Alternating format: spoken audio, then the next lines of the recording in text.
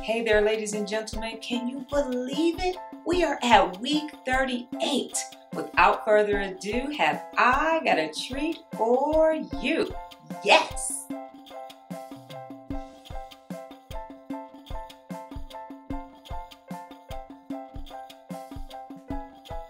Can I let you guys in on a little secret?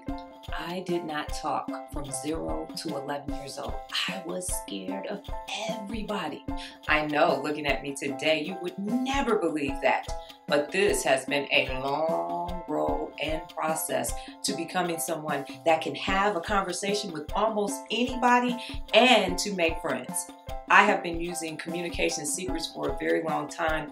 Last week's book was all about how to start a conversation and make friends. And here are the top five so you can have some friends and you can thrive and not be like me when I was a little kid. Okay?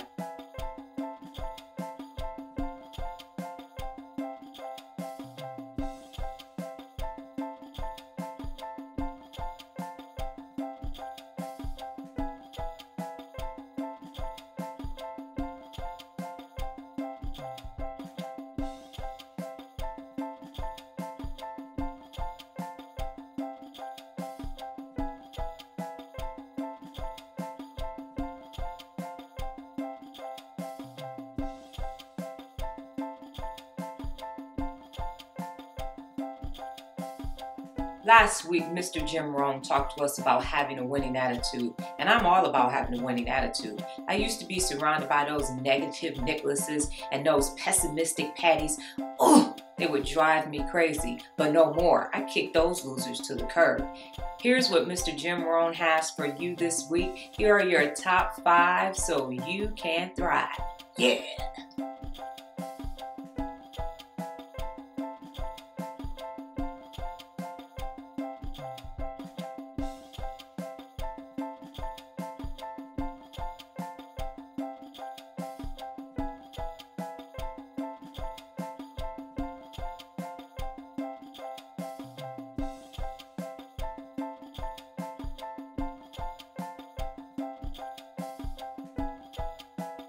As you all know, it's rare for us to read a book off of the New York Times bestseller list. Well, the rarity has come. We are reading The One Minute Manager. Mm-hmm.